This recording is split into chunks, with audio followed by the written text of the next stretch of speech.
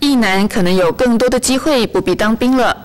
因为在一百零三年底实施了募兵制之后，将有多达十四万名役男因为军营客满而塞车。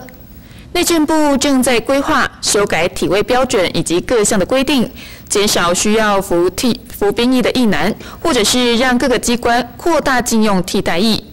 最快在年底之前就可以完成修法。募兵制将在民国一百零三年底之前上路。立法院国防委员会上午邀请相关单位进行专案报告。内政部坦言，由于替代役需求人数有限，民国一百零三年与一百零四年都有超过七万名超额役男等待服替代役。内政部正在思考如何扩充预算，增加替代役名额，或放宽役男体位区分标准与补充兵适用范围，减少役男人数，好解决这个问题。我认为内政部。自己大概没有能力处理，我们会会同国防部一起来研究。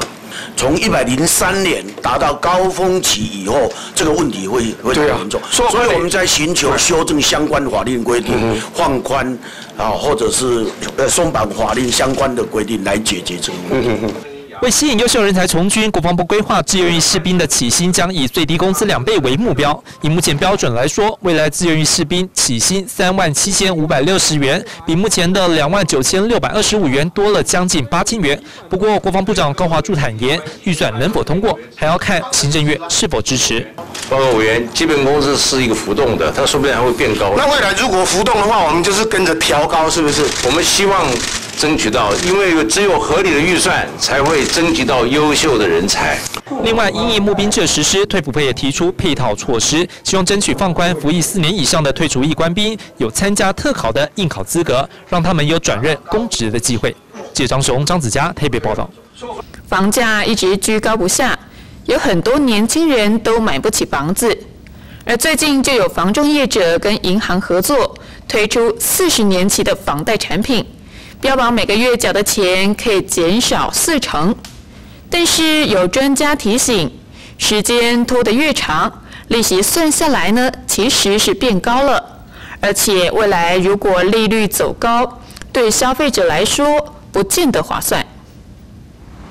大台北房价动辄上千万，年轻人实在买不起。为了吸引首购族，有房屋中介业者跟银行合作，推出长达四十年的贷款方案。以希望说，哎，我买了一个房子，然后呢，不影响到我每个月的生活品质啊，这样的一个消费族群的呃首购族的朋友，他可能就适合。呃，这个所谓的四十年的这个房贷的一个方案，四十年期的房贷限制三十五岁以下首购族购买屋龄三十五年以下的房子。不过算一算，缴完贷款可能都已经超过七十岁了，真的划算吗？假如二十二十几岁，然后四十年，这样也又要退休了。四十年势必它的利息是拉长的，然后等于是原来二十年的利息变乘以二。以贷款八百万、利率百分之一点八八来算，二十年期的房贷本息平均摊还每个月要缴四万块。如果分成四十年，月缴确实只剩两万三，但四十年下来总利息高达三百三十九万，足足多了一百七十八万。不止利息变多了，别忘了还有利率还有房价浮动的风险。我最怕是说未来 A 如果利息也利率提高，好，然后房价也下跌，好。那你在买的时机不对的时候，是不是这样呢？不见得会占到便宜。学者表示，美国也有长达三十年的房贷产品，但是是采用固定利率，让消费者可以预期未来的风险。相较之下，台湾四十年的房贷产品恐怕还是很难吸引消费者。记者林正武、郭俊霖台北报道。台湾健保的推动在国际间颇负盛名。最新一期的《时代》杂志。有一篇提到台湾健保的文章，CNN 也有节目推崇台湾的全民健保。不过呢，最近因为二代健保即将要上路，保费究竟应该要收多少，再度引发争议。而民间团体认为，台湾的健保利益虽然好，但是医疗资源浪费的问题却是长期都没有解决。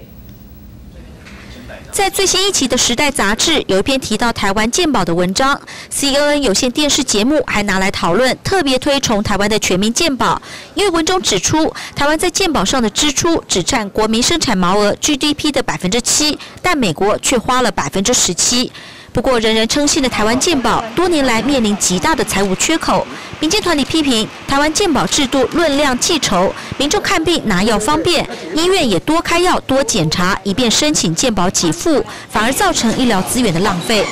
呃，健保的因为论量计酬，有做就有钱，所以它就会造成某部分形式上的浪费，甚至造成用药的浪费。由于健保财务缺口越来越大，两年前还不得不将健保费率从百分之四点五五调升为百分之五点一七。民间团体说，原本政府寄望二代健保实施后，因为有了新增加的补充保费，可以补足财务上的缺口，把保费费率从现行百分之五点一七降为百分之四点九一。不过如今看来却不是如此。明天有两会联席会议哈，我想目前。目前我们没有这个，还没有一个结论，还在程序中。民间团体说，如果按照健保局给的最新精算数据，二代健保保费根本不可能调降到先前所谓的百分之四点九一，而且未来费率也不可能低于百分之五点一。不过卫生署表示，明天上午将邀请监理会健保费用协议委员会，针对健保费率进行讨论。记者赖淑明、蒋东祥台报道。全台湾大约有二十五万学习落后的国中小学童，他们未来有可能会成为社会弱势的一群。而在六年前，永林教育基金会就以台东大学作为基地，成立了希望小学，专门研究开发教材和教法，来提升弱势学童的学习成果。而现在，他们已经有了十八所分校。国小二年级的学童小熊家境不好，在一年级的时候认字能力落后同学很多，其他课业也就跟不上进度。后来加入永林希望小学一个学期，透过非学校教师的专业克服，他的认字能力大幅提升，课业也进步了。他很高兴有这样的克服课程来帮助他，因为这样子才会学很多。永林教育基金会发现，国内家境贫穷造成学习能力低落的学童大多在东部地区，于是，在六年前以台东大学为基地，成立永林希望小学，研发教材和教学方法，进入偏乡部分小学教学，特别是研发补救教学电子书包，提升了弱势学童的学习兴趣。这个电子书包也让来台湾参访的美国著名佛罗里达州立大学阅读研究中心教授很感兴趣。I, that actually is technology that we don't have in Florida, and I think it would help actually help us do a better job than we're doing now. 在美国有一个都不能落后的教育法案来保障弱势学童各方面的学习，但台湾却没有立法，而且目前国内的补救教学都是交给现职的老师来做。国内的专家也认为，这并没有办法有效的提升弱势学童的学习能力。很多老师他其实很有心想要把它做好，可是他心有心有余力不足。再过三年，台湾要实施十二年国民教育，在没有考试的压力下，外界质疑学生的学习成就会在向下滑落。台美的教育专家都建议，应该透过立法避免这种情形发生，让弱势学童有反败为胜的机会。记者张明哲台东报道。